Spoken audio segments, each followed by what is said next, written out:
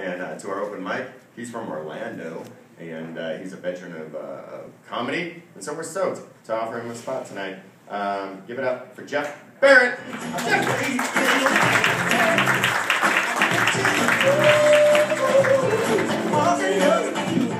All right, I am from Orlando. I uh, drove here actually from California. I was living there for a couple years. Found out uh, you guys have strict DUI laws here. Fuck. 45 days mandatory in tent city, first time offense. Shit. When I got to the fucking Arizona border, I bleached my fucking throat out with Clorox and had a blood transfusion. Just on the safe side.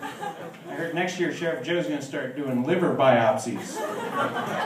DUIs. It's kind of fucked up. California, man, they drink like fucking crazy and drive. Yeah, you fit right in, toots. you and your boobs. And uh, celebrities, man, you can see them getting pulled over left and right. And I can never understand it why all these Hollywood celebrities are getting DUIs. First of all, you make so much money you can afford a fucking driver, right? If you want to go out and party, get somebody to drive your drunk ass around. Yeah. Second of all, you're an actor. Act sober when you get pulled over, asshole. Learn to take your work home with you. Here, here. So we got lots of women here. It's like mammogram night. God, I am offering to do manual mammograms right after the show. Just because I know how fucking brutal it is for you women. I can't believe in this day and age we have the richest healthcare in the fucking world and they still give you guys breast exams by smashing your titties. Don't they? Isn't that how they still do it? They just smash your titties. That's bullshit. Because I'm telling you, man, if guys had to go to, dude, can you imagine if you had to go for a mammogram? And you walked into the fucking nurse, this big burly nurse, and she said, Sir, we want you to put your testicles up on this cold, hard slab. And we're going to flatten them out as much as possible so we can get a good picture of those little puppies. See what's going on down there. Oh, you're going to feel a pinch or two.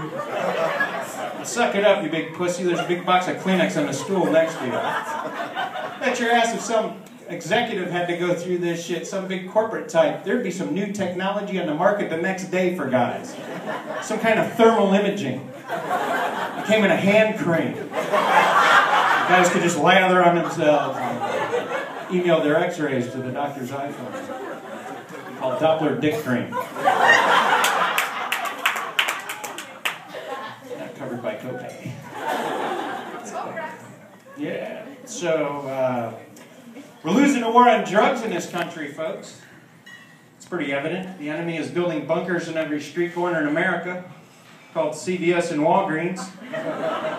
You don't even have to get your lazy ass out of the car, man. You just go through that little drive-through window they got, get your little Anna Nicole starter kit, get your little Heath Ledger starter kit, Michael Jackson, insert fucking dead celebrity here. It's the only way you hear about the overdoses of drugs, right? When some celebrity dies from it.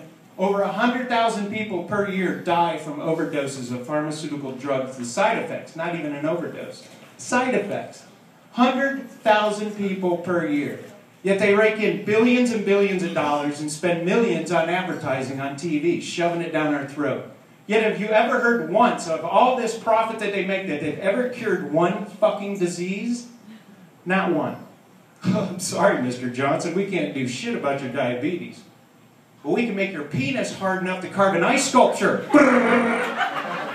Look, a butterfly. Lunesta. So fucking good tonight. Drug companies. They're everywhere in every fucking street corner in America. It's amazing. And they sell junk food. Junk food and cigarettes to boot. Cigarettes. Shit, they should be selling medicinal marijuana. I know you guys got that legal here too, don't you? Right? That's pretty fucking wild, man. That's awesome. Can you imagine if you drove up that little drive-through window at CVS? How you doing, baby?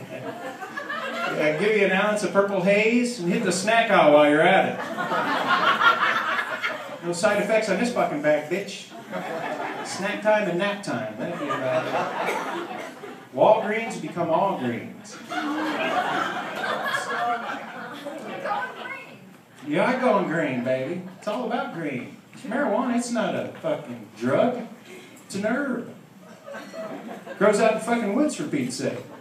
What if those bastards quit cutting that shit down? Costing some of us a hundred bucks a week. It's bullshit. They try to say if you smoke marijuana in this country, you're supporting terrorists. Isn't that ridiculous? I'm not supporting terrorists. I support my neighbor Dave. He's a farmer. It's hard work being a farmer. Gets up at the crack of noon, searching for Animal Planet every fucking day. Cigarettes, on the other hand, man, they, Marlboro's the most popular. Marlboro has over a thousand additives and chemicals in it. Yeah. One of the additives is the one that keeps it burning. How many cigarette smokers you got here by Plus? Cigarette smokers? Yeah, I know you guys are dying on. Had to put your cigarette down first, didn't you, folks? now you can attest to this. Anybody that lights up a cigarette, you put it in the ashtray. If you went out and used your cell phone, came back, smoldering butt. You don't give a shit. You got a little fucking carton sitting there. The one downside of this additive is the fact that it causes about 1,500 deaths per year if somebody fell asleep in bed or on a couch with a lit cigarette in their hand. 15,000 deaths. That's without even inhaling the product. Tell you what, there's not one case in this country where somebody burned down a trailer park or a dorm room because they fell asleep with a joint in their hand. It's impossible, folks. What happens you quit smoking a joint? It goes out. Why? Because pot's your friend, that's why. It's not going to burn down the house, damn food's in the house. God didn't breed no stupid herb. You take a nap, it takes a nap. You wake up and trade your way. Come on, fucker, we got brownies, let's go. You guys are a lot of fun. My name's Jeff Barrett. Thank you so much for coming out and supporting. Jeff Barrett, everybody.